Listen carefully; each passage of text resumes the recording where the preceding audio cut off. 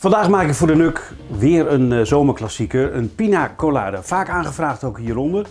Uh, ja, uh, uitermate geschikt natuurlijk in de zomer. Nou zijn er, als je op het internet gaat zoeken, 100.000 recepten. Iedereen doet het op zijn manier, ik doe het ook. Ik heb een beetje een, een gemiddelde genomen van wat ik zo tegenkwam en ehm, in ieder geval wat ik lekker vond.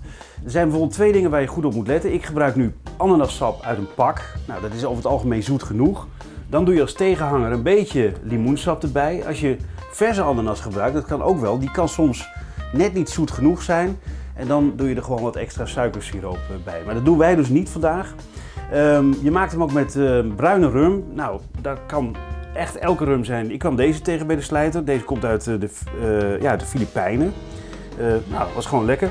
Ik doe er ook een beetje cachacha bij. dat is waar je normaal gesproken ook de, de caipirinha mee maakt. Die gaan we over twee weken maken. Um, maar dat is ook een beetje om het letten effect te creëren. Van de pina colada, een klassieketje.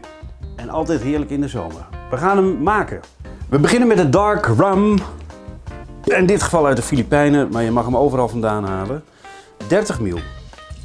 Een klein beetje van deze cachacha erbij. Dat is eigenlijk gewoon een rumsoort vanuit de rietsuiker. Nou, ik doe dat gewoon een beetje uit de losse pols zo. Huppakee. Kijk, we zijn in een goede bui vandaag. Er hoort natuurlijk in.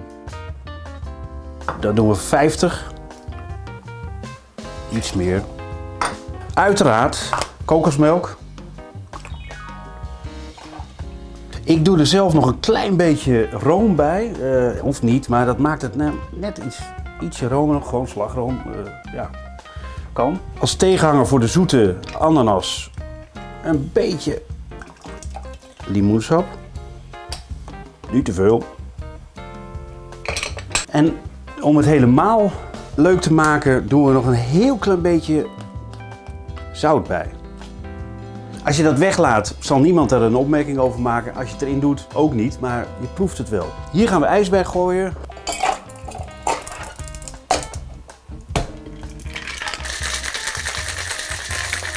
Dan gooi ik wat, uh, dat heb ik al een beetje voorbereid, maar dat ding maakt heel veel herrie, dus wat crushed ijs in het uh, glas. Dat hoeft niet overigens, je kan het ook gewoon met uh, normale ijsblokjes doen.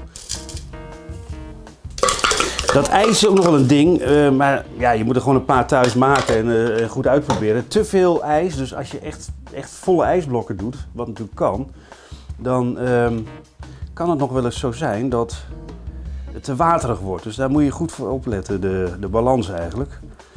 Um, het zou zelfs hier al een beetje het geval kunnen zijn, maar dat ga ik zo proeven.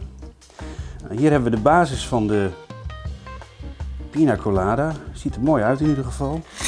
Dat heeft een goede kleur. Nou, gaan we het even een beetje echt mooi maken met uh, wat blaadjes van ananas. Er moet natuurlijk een ananasje op. En dan leg ik er nog even dit bij langs.